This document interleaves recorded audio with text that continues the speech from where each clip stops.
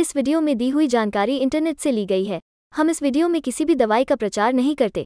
किसी भी दवाई को इस्तेमाल करने से पहले एक बार डॉक्टर से ज़रूर सलाह लें। अगर आप इस वीडियो को देखकर किसी दवा का उपयोग करते हैं और आपको कोई साइड इफ़ेक्ट होता है तो उसमें हमारी कोई ज़िम्मेदारी नहीं होगी। एलडेप दस टैबलेट एक ट्राईसाइक्लिक एंटी डिप्रेसेंट है। इस दवा की अलग अलग खुराक अवसाद, न्यूरोपैथिक दर्द और माइग्रेन जैसी विभिन्न समस्याओं के इलाज और रोकथाम में मदद करती है। एल्डिप दस टेबलेट आमतौर से सोने से पहले ली जाती है क्योंकि यह आपको नींद का एहसास करा सकती है। इसे भोजन के साथ अथवा बिना लिया जा सकता है।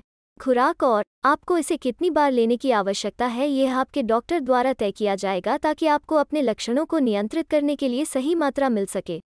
प्रारंभिक खुराक को नज़दीकी देखरेख में बड़ी सावधानी के साथ बढ़ाया जाना चाहिए।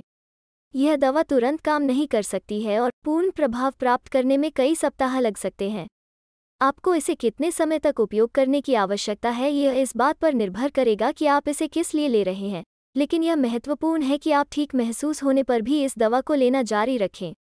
अपने डॉक्टर से बात किए बिना अचानक दवा लेना बंद न करें। दवा को अचानक बंद करने से आपकी स्थिति और खराब हो सकती है या अन्य लक्षण हो सकते हैं। दवा को रोकने से पहले आपकी खुराक को संशोधित या धीरे धीरे कम किया जा सकता है।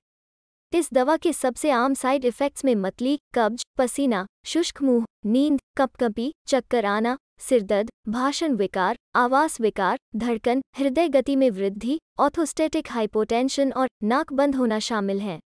यह आपको आक्रामक या भ्रमित भी कर सकता है और कुछ लोगों में वज़न बढ़ा सकता है। यह दवा नशे की लत नहीं है, लेकिन यदि आप इसे अचानक लेना बंद कर देते हैं तो आप अतिरिक्त दुष्प्रभाव, यानी कि वापसी के लक्षण का अनुभव कर सकते हैं। अधिकांश सामान्य दुष्प्रभाव हल्के होते हैं। आपका डॉक्टर साइड इफ़ेक्ट को रोकने या कम करने के तरीकों का सुझाव देने में सक्षम हो सकता है यदि वे आपको परेशान करते हैं या दूर नहीं होते हैं। इस दवा से जुड़े गंभीर दुष्प्रभाव दुर्लभ हैं।